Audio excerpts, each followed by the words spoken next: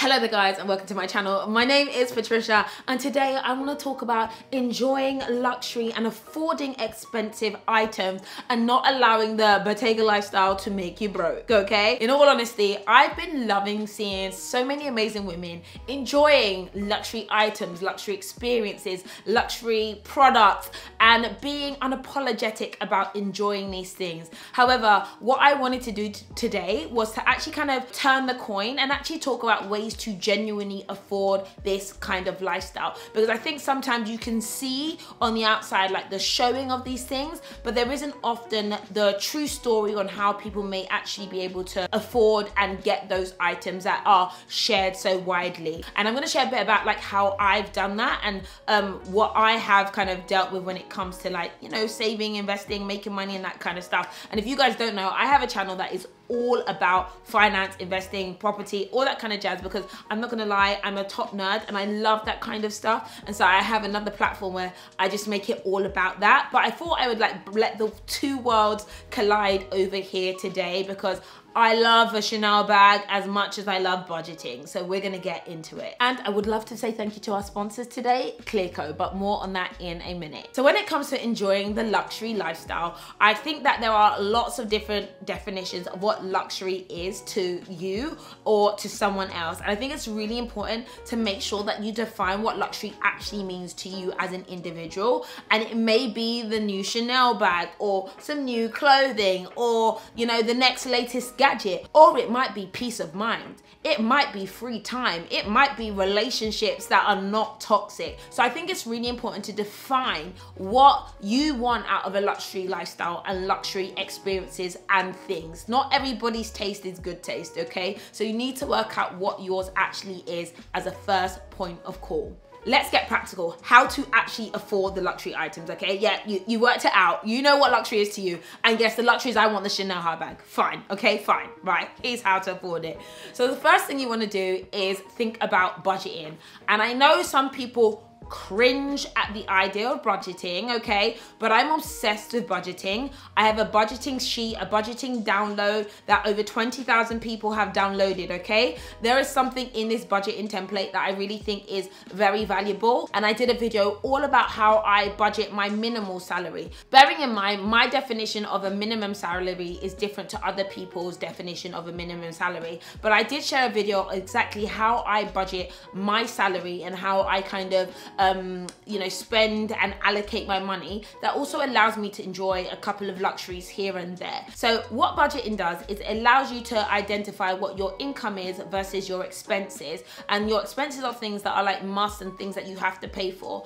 And at the end of you doing this kind of tracking, you'll be able to identify what's really good. I think a lot of people don't actually have a true grip of their finances. They don't have a good idea of, you know, what the checks and balances are. They don't know why they may not have enough money at the end of the month. They may not know exactly how they're using the excess cash that they do have and they feel broke every single time, even though they know they have some income coming in. And so I love budgeting because it gives you a cold, hard look at where your money is actually going. And by the time you kind of do what I call, which is like a projection, when I have a projected budget, which I do for on a yearly basis, I'm able to see like what potentially I could have at the end of the year to spend and enjoy.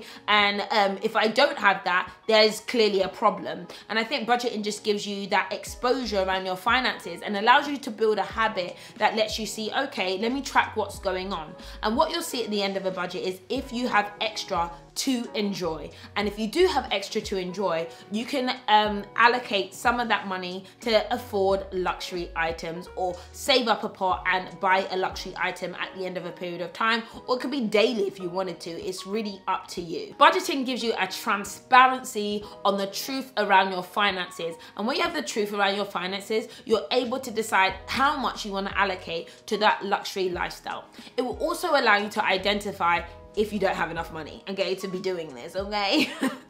And I think that I can say budget all you like, but I know a lot of people ask the next question, which is how do I actually make more money or extra money to be able to afford those luxury items and to have some extra money after I budget? So making more money. I'm not gonna say I've cracked the code, but I really have identified that there are key ways that people actually make more money. People and businesses can make more money. And so I've come up with like four or five different ways that people do make money. The one is by creating value. This is making people's lives better in some sort of ways. That so for instance, say Uber um, back in the day, being able to book a, a, a car really quickly on the go on your phone was adding value. It was saving people time and it used to be kind of cheap. So it was also saving people money in comparison to the old forms of taxi systems. Now Uber's a hot mess at this point in time. So, you know, we're not going to talk about that. But the principle of creating value is a really important thing when it comes to making more money. Number two is to solve a problem. So if you are able to come up with an idea that solves a problem in for someone on the small scale or solves a problem for the entire world, you can make a lot of money doing that. If I am able to buy a product that actually helps treat my acne, they have helped me. They've solved a problem for me. So I'm gonna pay them for them doing that. So if you're able to identify a way that you can solve a problem, again, small scale or big, you have the opportunity to make money doing that. You can also provide a skill, which comes again to like my Excel example. But for instance, if you are able to perform, sing, dance, um, be a flipping carpenter or do some electrician stuff, I don't know. But some things like that are specific skills that have a premium associated with them. If you are skillful at certain things, people are going to pay you for that skill. But what you probably need to do is be able to market that to actually let people know about the amazing skills that you have. And then there's also this concept of notoriety as well. I think people nowadays are able to make money from notoriety and having fame and having attention. Yes, attention nowadays does definitely bring the moolah in. And I'm not, again, mad at that. If you want to build a profile, you could definitely rake in the coins. So when it comes to making more money, yes, you can start a business. Now I know starting a business is not for everyone, but I do know it is for some. And nowadays it is easier than ever. I have been able to actually be able to generate more wealth by starting multiple different businesses, including e-commerce businesses. And I know so many girls and women who are so interested in doing this, but don't necessarily feel like they have the opportunity or the access, particularly to capital. And this is where I want to talk about my sponsors, Clearco, who I think are going to literally transform the game for so many people because they are giving capital, growth capital, to founders who need the money to make stuff happen. If you are a business and turn over 10K per month with a six month revenue history, Clearco may be the perfect partner for you without taking any equity. It's mind blowing, especially if you're someone who doesn't have access to investors or rich people but you have great products, great ideas, and you wanna make something happen and you need money to scale. So Clearco are the largest e-commerce investors in the world and they let you own 100% of your business. They also use data to identify growth opportunities and are able to turn around funding opportunities in less than 24 hours. I have learned that the importance of having funding and having support is essential if you wanna actually grow and scale. And I think there are lots of women, particularly black women, who haven't had access to some of these opportunities, who didn't know that they could actually get money to fund their ideas or to push their businesses further. And a company such as Clearco is here and available to provide those funding opportunities. It's literally mind blowing. No equity, no personal guarantees, and no interest.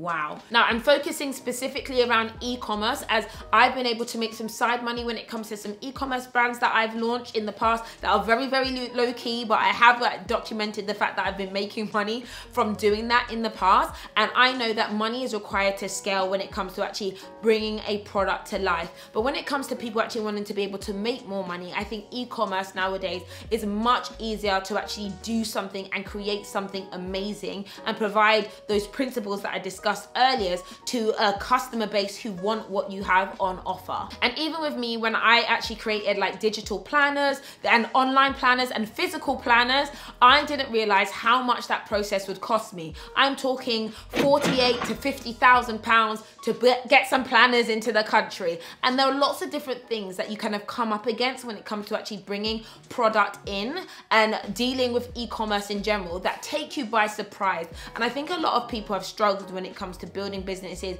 because some of these costs, they kind of eat into their lives, eat into their opportunity, and it's hard to hack it. But Clearco is really cool because it's able to actually provide the founders with the funding that they need to take things to the next level and thus make more money and then thus maybe afford more luxury items. However, I do find that people who are interested in building a business or building a brand, maybe the luxury for them is actually having a bit more time to focus on their dreams and to focus on their ideas and get their product and their e-commerce business to life. So I have a link in the description bar below where you can check them out. If selling and creating your own product and like building a business feels so crazy and so impossible, that's absolutely fine. If you want make more money to buy some luxury here and there, you can sell someone else's product and someone else's service and you don't actually have to do the middle bit if you don't want to. And you can do that by being an affiliate. You can sell products as a middleman and receive a commission off the top of that. But often if you want to become an affiliate,